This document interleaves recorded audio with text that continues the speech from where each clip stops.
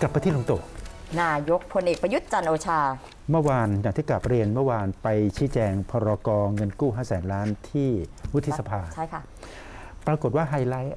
หรือเรื่องที่คนสนใจไม่ได้อยู่ที่ตัวพรกเลยนะ ไม่สนใจเลยไปสนใจเรื่องอื่นมากกว่า วัคซีน มากกว่าเรื่องวัคซีนอีก นายกจะอยู่ครบวาระไหมใช่ใช่ใช่เพราะนายกบอกว่าเดี๋ยวปีหน้าให้เตรียมตัวและทราบผลงาน ทุกคนก็เลยตึงตึงตึงก็ไอ้เรื่อง ไอ้เรื่องข่าวยุบสภาอีกหนึ่งปีข้างหน้ามาจากใครล่ะ มันก็มาจาก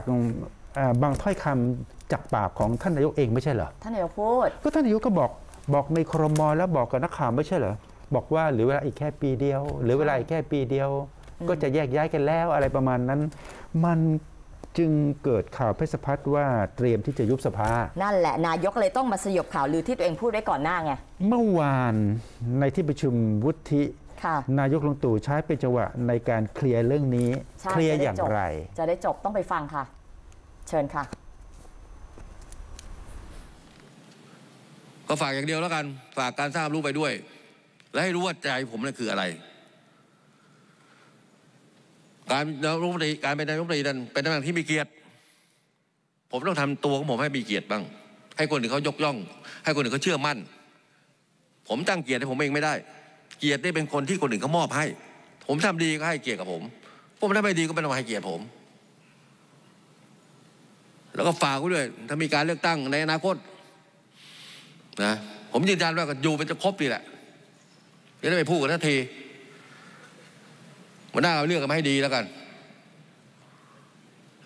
ทุกคนลืมง่ายหมดอะทุกเรื่องอะนะวันนี้พอทำดีมากขึ้น ต้องดีอีกต้องดีอีก ผมต้องทำไปข้างหน้า แก้ปัญหาแล้ววางอนาคตไปด้วย แก้ปัญหาเดิมที่ทิ้งไว้กี่โครงการแล้วนะต่อสู้ในฐานกี่คดีอะ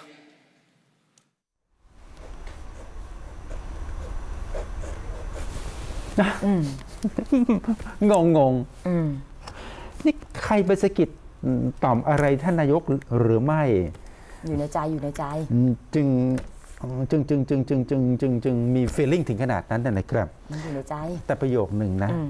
ผมยืนยันจะอยู่จนครบนั่นแหละ จะได้เลิกพูดกันเสียทีก็ไอ้ที่เขาพูดกันเพราะว่าวันก่อนท่านพูดไว้อย่างไร อีกปีเดียว